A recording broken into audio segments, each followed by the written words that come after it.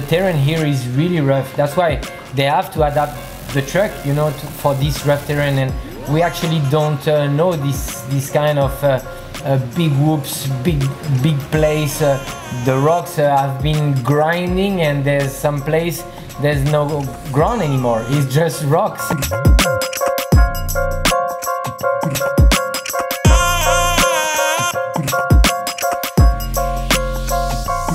For me, it's a family sport, and this is one of the only races we also get the pre-run. So we get to come down here, bring my dad and my brother and my uncles, and you know, we all come down and we bring all of our guys. We, we try to have a great time with, you know, going out in our UTVs or in the pre-runners, and we just try to spend time down here. And the people of Baja, this place, this place is amazing. They love off-road racing.